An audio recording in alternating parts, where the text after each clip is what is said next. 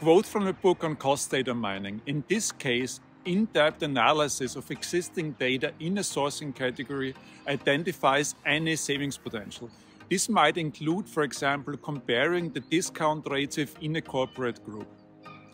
Since publishing the book back in 2008, a lot has happened in this area. We could talk about data lakes, machine learning and big data.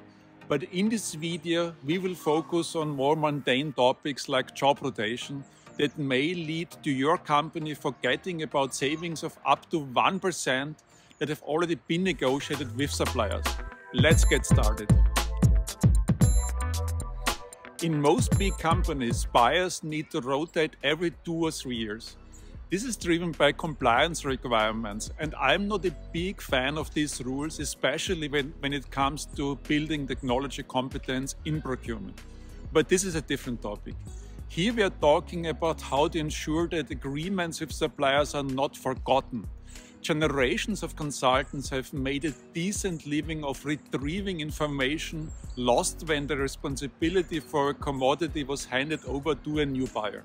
And it doesn't even have to be job rotation. The bigger an organization becomes, the harder it is to ensure that everyone in the company knows what everyone in the company should know.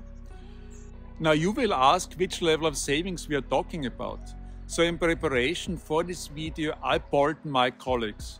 Responses came in between 1 and 2%.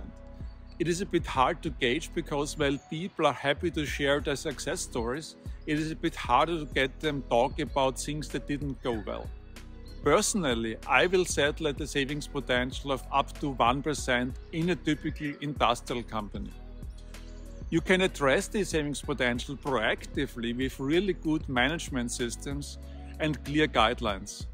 Haven't seen that too often. Or you can fix it reactively after the fact with cost data mining. The idea behind it is simple. Somewhere in our system, we certainly have information that would allow us to achieve savings with suppliers.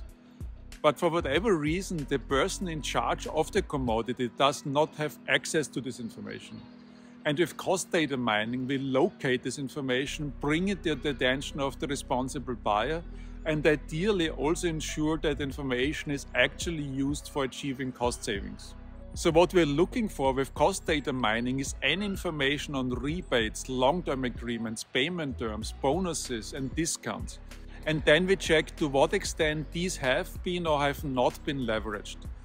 We can find this information, contracts with suppliers in specific terms and conditions, and probably most important by legwork.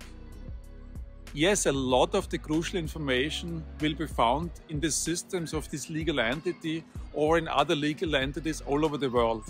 But the most important source of information will be the buyers themselves. They will have notes that are not yet uploaded to a central system and the only way to systematically access this information is by talking to them. A little bit of encouragement from the top helps, and wrapping the whole effort in a cost reduction program with savings targets that are cascaded down the hierarchy may work wonders.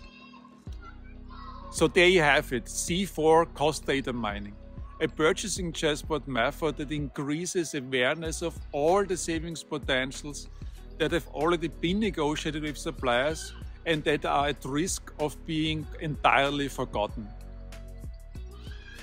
Okay, I'm curious. What savings percentage do you estimate lies dormant somewhere in your organization? Let all of us know in the comments down below. And should you have a question, I will get back to you within 24 hours. Thank you for watching and I see you in the next one. Bye.